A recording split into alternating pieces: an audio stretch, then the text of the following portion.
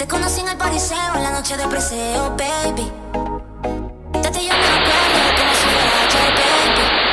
Te la vuelta, contigo envuelta. Que el ponga la lenta y escapate, baby. Conociéndonos.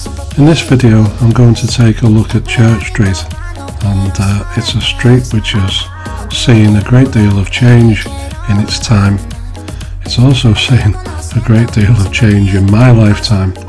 So I'll put some photographs on the beginning here to maybe jog your memory of uh, some of the shops and some of the buildings that used to be here. To give the history of every building and every business that's ever been in Church Street would be pretty impossible and it would make for a very very long video and even then I'd probably miss something out. So anything I miss feel free to uh, put a comment and uh, everybody else can read it. Church Street was pedestrianised in 1974 and prior to that it was a very very busy street. Buses, lorries, wagons, cars all used this as a route in and out of the city centre. Buses used to travel to and from um, the Pier Head and South Castle Street along here. So of course the pavements on either side were absolutely crammed with shoppers and uh, people trying to cross from one side to the other, darting in and out of the traffic. These days it's a little bit more peaceful, even tranquil maybe on a day like today. Um, it's also a favourite place for buskers. Church Street, I would have said, was Liverpool's main shopping street back in the day. I think to an extent it still is, but um, the pretty recent um, Liverpool One shopping complex is probably a little bit more busy, and um, people head there rather than here, I think. But certainly, back in the day, this was the place. On the left hand side here used to be Littlewoods, and that was owned by John Moores. There's a statue of John Moores and his brother Cecil Moores here on the left, we've just passed it there. Now, the building on the right here with TK Maxx at the bottom used to be a department store called George Henry Lee.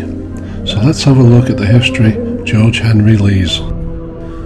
Founded in 1853 by Henry Boswell Lee, George Henry Lee's started life as a bonnet warehouse at number 12 Basnett Street, which is right here. The shop prospered and grew and gradually developed into a department store. In 1874, the last of the Lee sons retired and control passed to Thomas Oakeshott. In 1910, the year Thomas Oakeshott died, the company had over 1,200 employees. And during the 1920s, George Henry Lee was refurbished, and so began an age of elegance when the store became the Northwest's most exclusive shopping destination. Business was going well during the 1960s, and John Lewis purchased the department store next door, which was Bon Marche, from its owners, the Liverpool Cooperative Society, and merged it into George Henry Lee's. In 2002, the partners of the business decided, as part of the store refurbishment, the business would be rebranded under the John Lewis name. So, on the 27th of May 2002, George Henry Lee was no more. And in 2008, John Lewis moved to its new site in Liverpool 1, where the Sailors' Home used to be. So we're now on Williamson Square, and this is the back of the store here, George Henry Lee's. And there are plans to turn this building into a hotel 175 bedrooms and a casino is the plan. Right, so we're back on Church Street, and the building on the right was, up until recently, occupied by Marks and Spencers, but they've recently moved out. They moved into their new store further up the road on the left hand side on the 15th of August.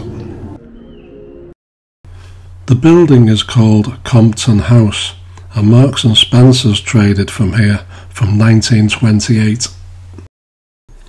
So Compton House is a Grade 2 listed building and the building that we see today was um, rebuilt in 1867 after a fire destroyed the original building uh, two years previously, so that's 1865.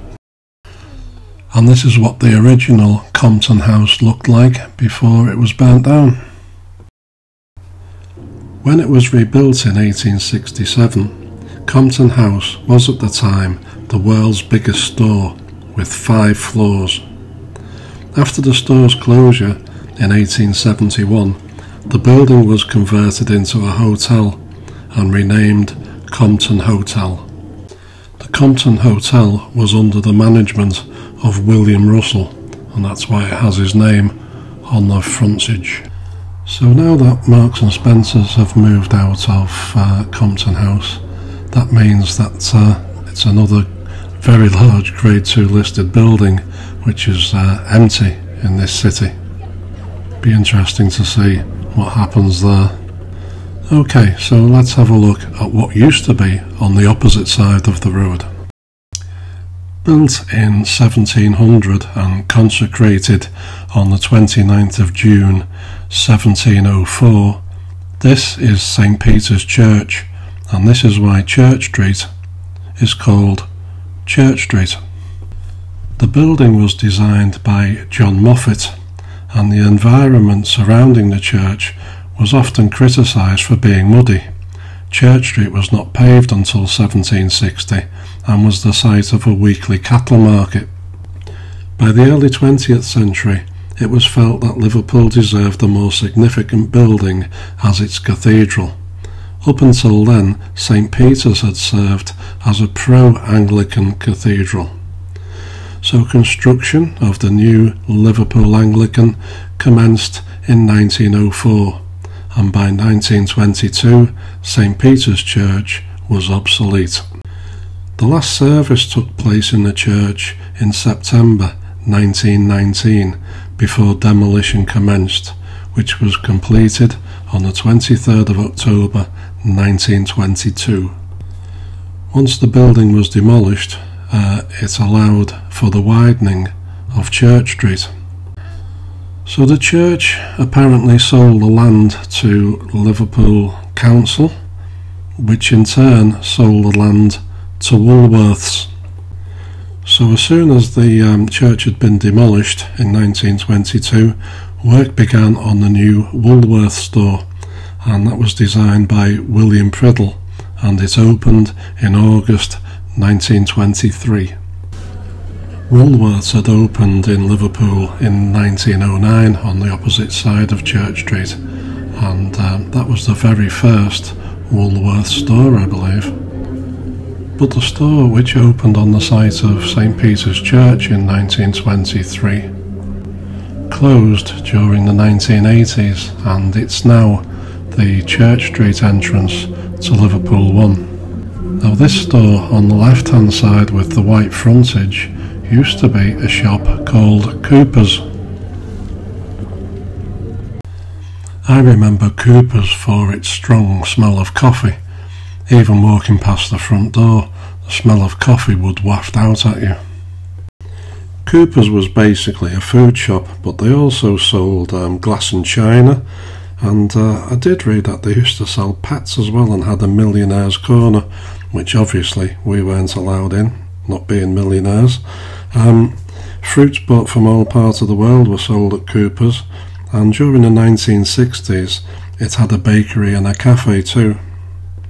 But Cooper's closed in February 1972 and I was really surprised to find that out because um, I thought it was a lot more recent than that in the 1980s but wow 1972 right let me rewind the footage a little bit and um, Hughes have moved to Church Street this week T.J. Hughes started out on London Road in 1912 and uh, they're moving here or have moved here depending on when I edit this video on the 21st of September 2023. TJ's always reminds me of uh, going back to school after summer holidays. It was where my mum used to take me to get uh, the next school uniform, probably grown out of the, uh, the previous year's one. Well, this is where TJ Hughes used to trade from on London Road, and this is going to be converted into 199 apartments. Uh, apparently, they're keeping the London Road facade. Okay, so while we were looking at uh, London Road, we've just passed the junction with Church Street, Whitechapel to the right, Paradise Street to the left, and we're now walking along Lord Street. I thought while we were here, we might as well carry on the walk and have a look at Marks and Spencer's new store, which is on the corner of Lord Street and South John Street, which basically leads into the Liverpool One shopping complex. Lord Street was built in the late 17th century for Lord Molyneux, who the uh, who the street is named after, Lord Street. His townhouse would survive for 250 years before being destroyed by bombs during the May Blitz of 1941. And as we get further up Lord Street, I'll um, point out where his house used to be. I think this photograph dates from the 1980s, and uh, Lord Street for a long, long time was a favourite place for jewellers. And that uh, little fashion dates back to 1705. But a lot of Lord Street was uh, rebuilt in the 1950s uh, from the damage of the 1940s.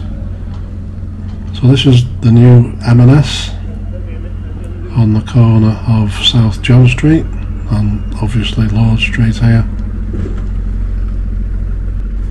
So Marks and Spencer's moved here on the 15th of August 2023. So we're just going to walk up the rest of Lord Street to its junction with Castle Street on the right, South Castle Street or as it's known now Derby Square on the left and in front the continuation James Street. Now Lord Molyneux's cottage or house was on the right hand side just where that blue sign ends, just behind that bus stop so that's the uh, that's the guy, Lord Molyneux, who this street is named after.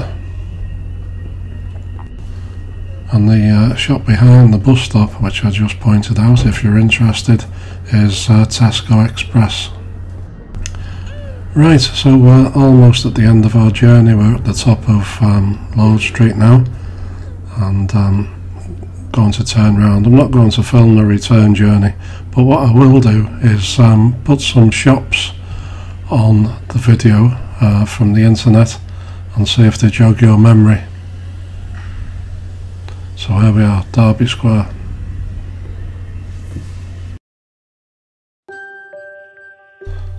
Bunney's department store on the left and Crane's music store on the right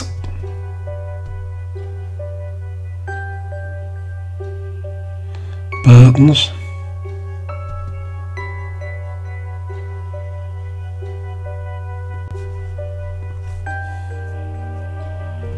C&A, or as my mum used to call it, coats and hats.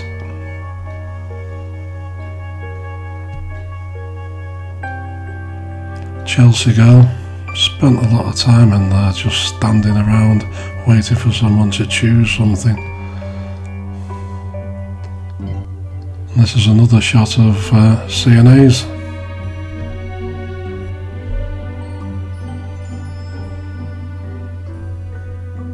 And this is Cousins Corner. Radio Rentals.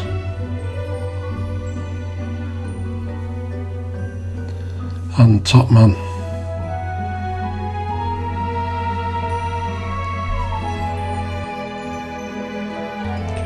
So yes, lots and lots missing. So um, see if any of this jogs your memory.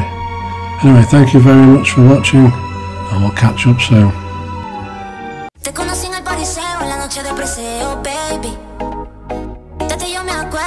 Si fuera ayer, baby.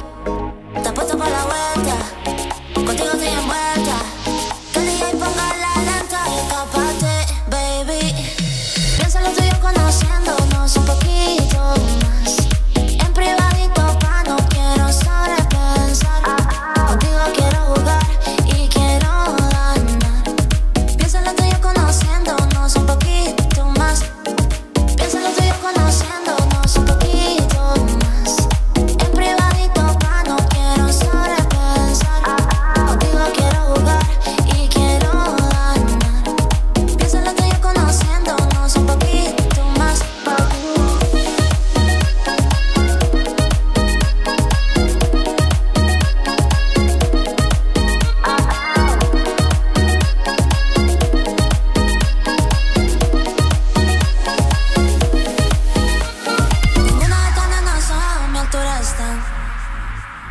Hagamos una novela, yo te voy a comprar. Ninguna de estas nenas te van a saber tratar como tú lo necesitas, como a ti te va a gustar.